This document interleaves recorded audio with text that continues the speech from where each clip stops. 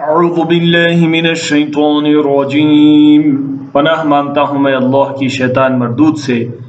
بسم الله الرحمن الرحيم شروع اللہ کے نام سے جو بڑا مہربان نہایت رحم والا ہے. الله يتوفى الأنفس حين موتها والتي لم تمت في منامها. فيمسك التي قضى عليها الموت ويرسل الأخرى إلى أجل مسمى. إن في ذلك لآيات لقوم يتفكرون.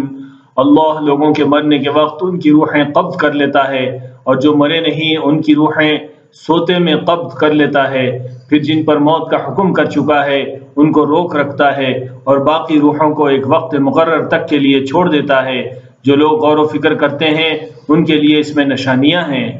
أم اتخذوا من دون الله شفعاء۔ أم اتخذوا من دون الله شفعاء۔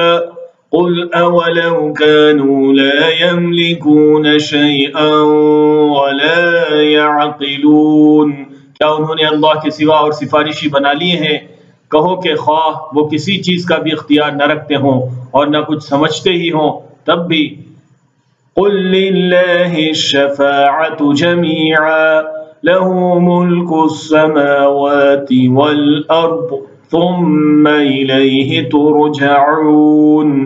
کہہ دو کہ سفارش تو سب اللہ ہی کے اختیار میں ہے، اسی کے لیے آسمان اور زمین کی بادشاہت ہے، پھر تم اسی کی طرف لوٹ کر جاؤ گے۔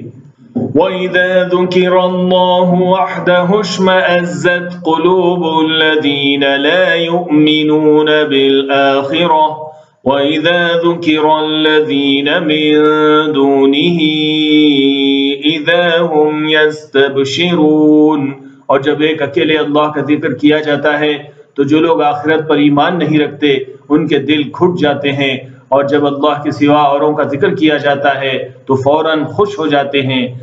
قل اللهم فاطر السماوات والأرض عالم الغيب والشهادة أنت تحكم بين عبادك فيما كانوا فيه يختلفون कहो कि अल्लाह ए आसमान और ज़मीन के पैदा करने वाले पोशीदा और जाहिर के जानने वाले तू ही अपने बंदों में इन बातों का जिनमें वो इख्तिलाफ करते रहे हैं फैसला करेगा ولو أن للذين ظلموا ما في الأرض جميعا ومثله معه لافتدوا به من سوء العذاب يوم القيامة وبدا لهم من الله ما لم يكونوا يحتسبون और अगर जालिमों के पास वो सब मालूमता हो जो ज़मीन में है اور اس کے ساتھ اسی قدر اور ہو تو قیامت کے روز برے عذاب سے رہائی پانے کے بدلے میں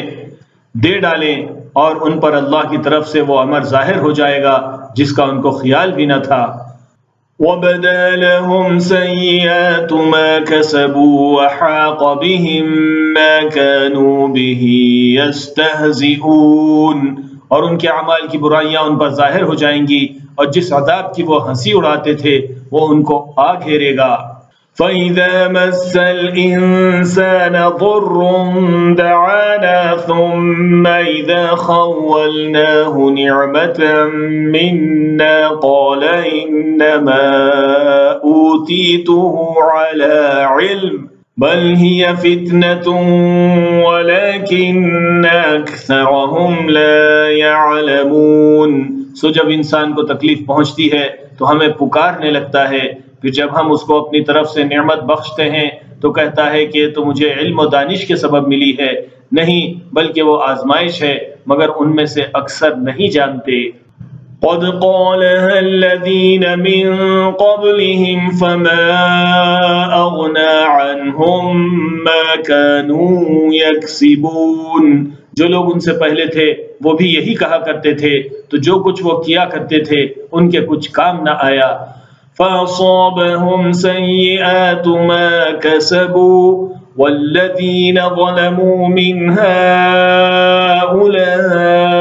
سيصيبهم سيئات ما كسبوا وما هم بمعجزين. آخر ان پر ان کی برائیوں کا وبال پڑ گیا اور جو لوگ ان میں سے ظلم کرتے رہے ہیں، ان پر بھی ان کے برے اعمال کا وبال عنقریب پڑے گا اور وہ اللہ کو عاجز نہیں کر سکتے۔ اولم يعلموا ان الله يبسط الرزق لمن يشاء ويقدر ان في ذلك لآيات لقوم يؤمنون۔ کیا ان کو معلوم نہیں کہ اللہ ہی جس کے لیے چاہتا ہے رزق کو فراخ کر دیتا ہے اور جس کے لیے چاہتا ہے تنگ کر دیتا ہے۔ جو لوگ ایمان لاتے ہیں، ان کے لیے اس میں بہت سی نشانیاں ہیں۔